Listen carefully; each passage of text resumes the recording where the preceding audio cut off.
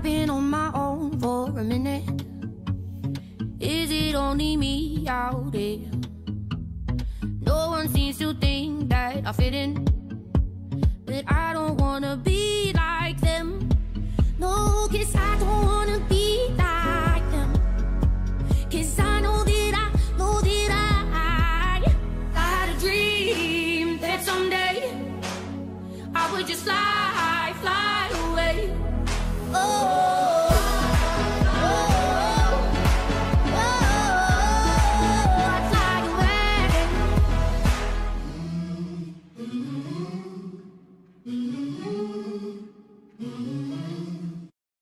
Hey there, and welcome to an interesting analysis in this week's quick podcast of Airbus Zero E. Now, for my friend today to join me for this quick podcast, P Express Airline. Do check his channel out for some great spaceflight simulator videos, including this cool one on Starship, the next big thing. What is Zero E? Zero E is an initiative announced most recently by Airbus on the 21st of September 2020. So far, no official legally binding contracts have been signed as part of this initiative, and this is the result of small-scale studies on all forms of energy to power the future of zero-emission flight. Airbus has set themselves up to commit to this goal.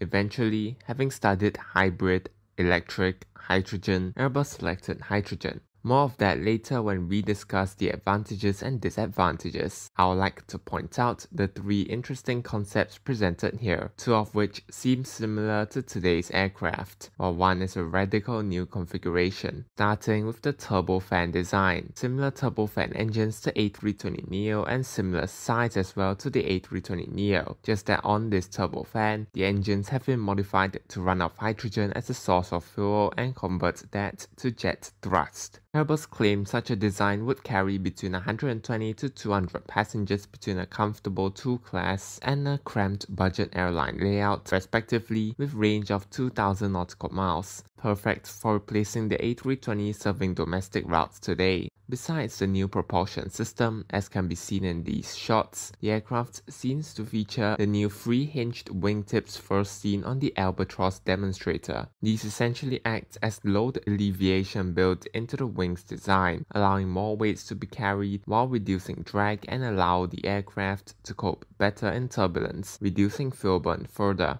For even shorter routes, a new turboprop was also shown, seating up to 100 passengers to around 1000 nautical miles. Interestingly, that's more range and more seats than the biggest ATR today, the ATR 72-600, which only carries up to 78 to 825 nautical miles. You might be wondering, how will Airbus develop their first small turboprop? Not to worry as they own 50% of European turboprop manufacturer ATR. Yes, ATR is a joint venture between Leonardo and Airbus, so they could partner up with Leonardo to develop this future aircraft. The third one though is a more ambitious design, the new blended wing concept. It will also take up to 200 passengers for early versions and fly further at more than 2000 nautical miles. This configuration however provides the greatest potential for expandability, with the wide fuselage allowing more space to store hydrogen fuel cells. Larger blended wing bodies, more passengers will be able to carry it with more fuel tanks, meaning no sacrifice of range for payload, while the new wide cabin will allow for radically new interiors as seen in this Aerospace Concept 2030 video. The aircraft would extensively use artificial intelligence and augmented reality in the cabin.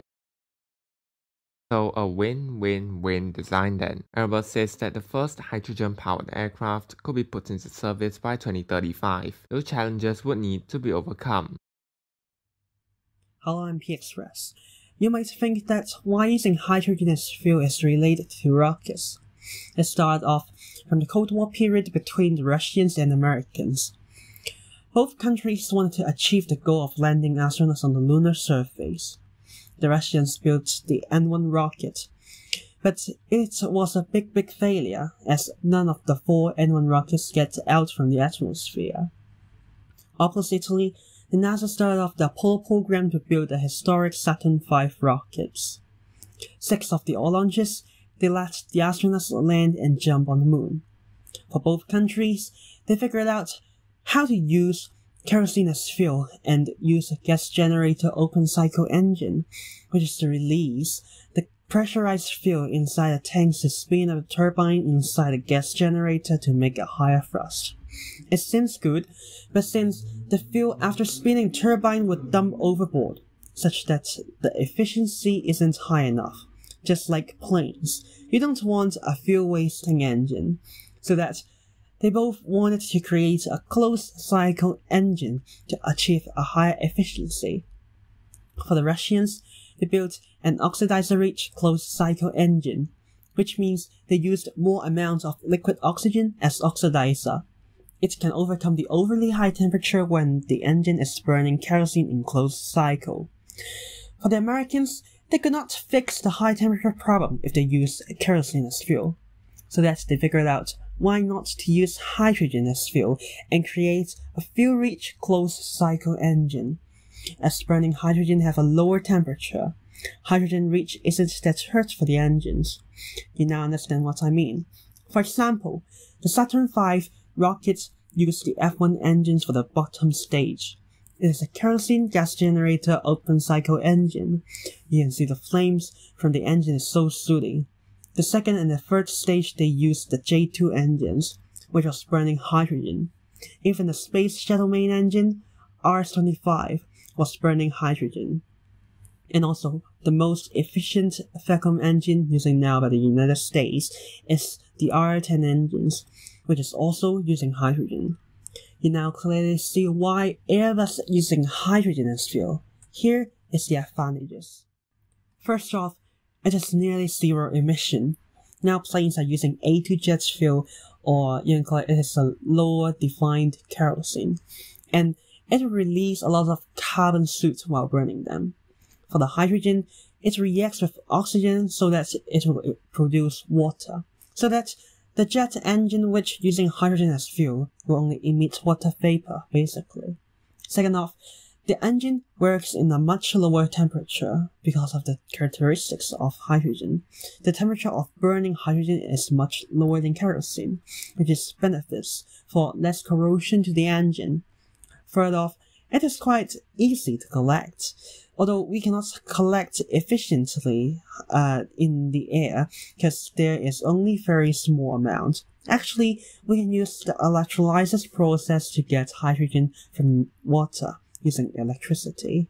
I think that's all for the advantages, but I think actually there are a lot of disadvantages, am I right? Here are the challenges. The cost of producing hydrogen fuels would need to be significantly reduced, and Airbus has called on the energy producers to find new innovations and lower costs. Airbus stated this is not just like any other new aircraft program, but a movement towards a new future for aviation, and the industry has to show support. Airports must be ready and equip themselves with new infrastructure to refill and store hydrogen fuels, while airlines must be ready to accept such new technologies. Governments must increase funding into research and development, and Airbus cannot do it alone. Airbus, however, stated their highest priority is safety, stating they will integrate this new environmentally friendly fuel while maintaining the high level of safety expected for an aviation industry. They would have to work with regulators to establish new certification requirements for hydrogen powered aircraft. Now, the disadvantages. While hydrogen could be stored in cryogenic form, superchilled hydrogen, meaning denser hydrogen allowing more of it to be packed into the cells, and it has roughly 3 times the energy density of fuel, meaning for 1 gram of hydrogen, it produces the equivalent to 3 grams of fuel in terms of energy, it does still take up more space. Thus, larger fuel cells will be needed, taking up more space, meaning a larger fuselage which increases weight and drag. One characteristic of this new generation airplanes are the long aft section right behind the rear pressure bulkhead. That's where the fuel cells would be for the turbofan and turboprop. The blended wing body could actually be the most optimized design-wise for hydrogen. Perhaps the reason why Airbus is performing flight tests with the MAVERIC to study the aerodynamic and handling qualities of such a configuration.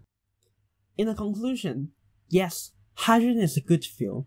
You can have nearly zero emission using them. But there are also bunches of problems like it is explosive and is expensive, etc. Maybe it is good for the environment, but not for humans and economics. In my point of view, why not concentrate on electric engines? It is truly zero emission, even no water vapor comes out. And also, you can charge the planes in flight. Although it might have a lower thrust, I think technology actually can overcome after time, just like full electric cars. Originally, people think that it is not possible. Battery cannot support those instant high voltage, but Tesla made it happen. Even some of the types are racing cars. Mm, how's your perspective? All in all, hydrogen in my view is the right way to go until a new generation of cheaper batteries make their way to the market. Hydrogen is more scalable for short, medium, and long range. It's a simpler substitute for jet fuel. While batteries would be the ultimate step, hydrogen too has its potential. Hydrogen, in my view, is the best way to go medium to long haul for larger aircraft applications. The battery technology would of course most definitely improve and we should nevertheless integrate either batteries, hydrogen or other forms of alternative fuels into commercial aviation in order for it to remain relevant. Overall though, this is a really interesting project and one I cannot wait to see take flight. The aviation must move to go from transporting people around the world allowing new connections to be made worldwide to transporting people around the world in an environmentally sustainable manner, keeping it relevant in the future where more pressure is put on carbon emissions. I think that's all for today. Um, but before the ending, let me promote my podcast here. You can listen in various platforms like Google Podcasts, Spotify, etc. Also, on my podcast platform, I have an episode with AP that we chat about future planes versus future rockets. If you want to know more what we're thinking about, going to check that episode out. I think the link is in the description, or you can simply search my name, P Express, as the name of the podcast. Thanks for watching, and till we meet next time, hopefully flying in hydrogen powered aircraft, wishing, wishing everyone, everyone, a truly clear sky ahead.